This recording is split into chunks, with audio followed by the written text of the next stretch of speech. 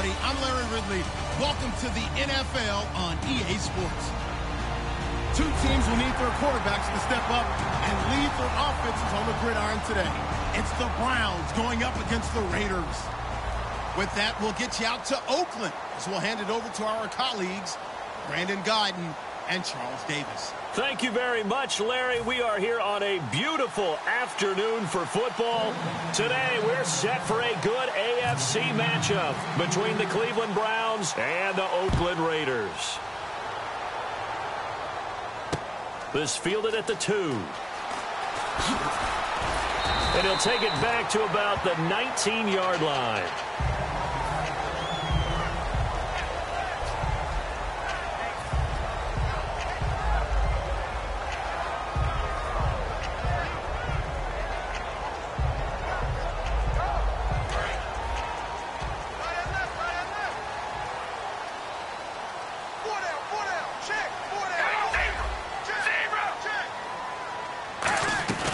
They go play action here on first down. Throw left side to the tight end Walford. And they'll bring him down at the 27-yard line. Seven yards the pickup on the pitch and catch. A good safe pass there right off the bat. That's almost a rhythm play. That's what we like to call it. Get them into rhythm early, something safe, something they're confident about, something they feel good. And once that's completed, then you just keep moving from there because the confidence elevates. Carr to throw on second down. And he fires one that's intercepted. A great read, and it's picked off. And they have the football and will take over at the 24-yard line. They told us repeatedly earlier in the week in our meetings, we need some plays from our defense here on the road early. They got one. And don't think they were above all week long pointing out to their defense that the other defense is rated higher than them. You going to let that happen, guys? Is that how we're going to play? And they responded to the challenge. And he'll get a couple here down to the 22. Tackle made by Perry Riley. The starters for the Cleveland Browns. And let's discuss the tight end, Gary Barnidge. Sometimes he can get overlooked. I love how he emerged in 2015. We had a scouting report on him that said he was a good blocker, dependable receiver, but no stardom at all. Had a thousand-yard season in 2015.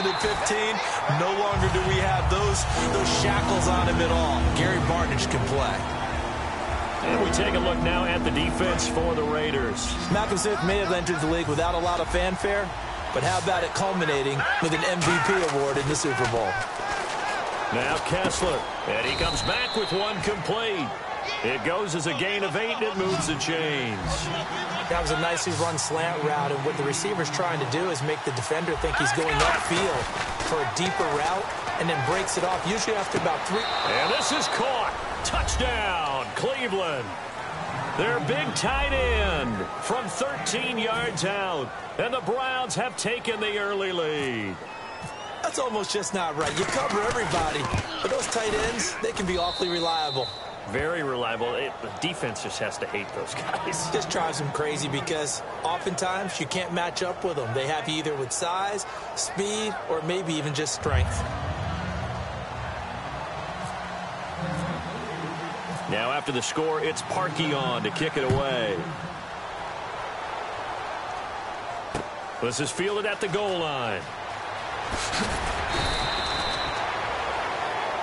The Raider offense now making their way toward the huddle. And following the interception, we'll see what they can put together on this drive. I hear my old college coach right now. He always used to tell us before every game, the team making the fewest mistakes will win. What they're hoping is that that last mistake is their only one of the game. Coaches, that's all they talk about, turnovers, right? Minimizing those and maximizing opportunities.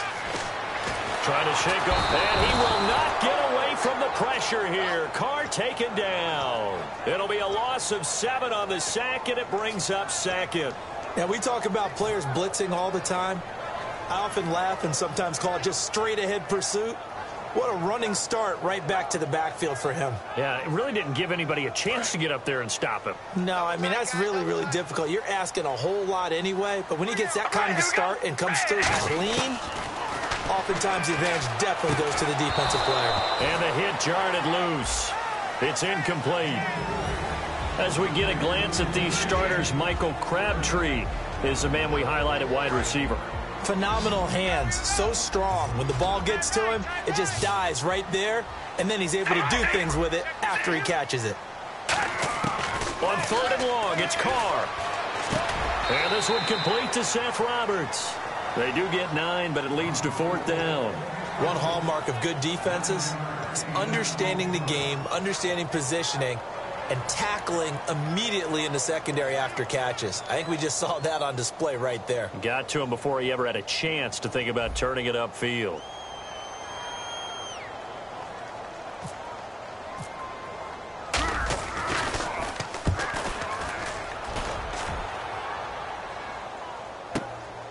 And this will be taken at the 13. He'll be hard-pressed to match that one. That a 65-yard punt. And as the Cleveland Browns come back out onto the field, they'll get going again on offense here in a second. But 1 in 15 this last year. And it's a franchise that since moving back to Cleveland in 99 has only been to the playoffs one time. Hard to believe, right? Just two winning seasons in that time Yeah, only two. as well. But I think there's optimism to be had here in Cleveland. I think that the fans, it's tough for them to see it after another 1 in 15 season. But I think that they have a plan in place to move this franchise forward. Ownership, front office, head coach, all in lockstep together with a vision and a plan that they, intend, that they intend to execute. And able to push his way forward here for a good little gain. He'll get a nice chunk there on the first down run, and it's second and four. We are watching a runner having a really nice game. Carrying it very well. Vision is excellent, but boy, look at the help he's getting. Offensive line, I think they're pretty eager to block for him. On second down, here's Kessler. Gets it to Gordon. And able to break one tackle, but then quickly brought down. Four yards on the completion, and it sets up a third down. When you see zone defense and you know you've got a drag route on as your primary call, you've got to be really careful as a passer about how far you let your guy go because he might wander into some tough coverage. They come out here in the eye.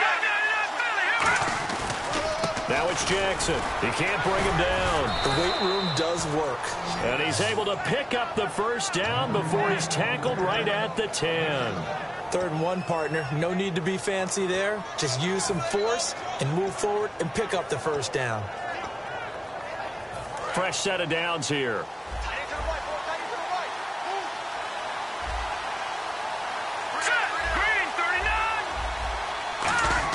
A first down throw for Kessler. And that's going to be caught for a Browns touchdown. Gary Barnidge from 10 yards out. And the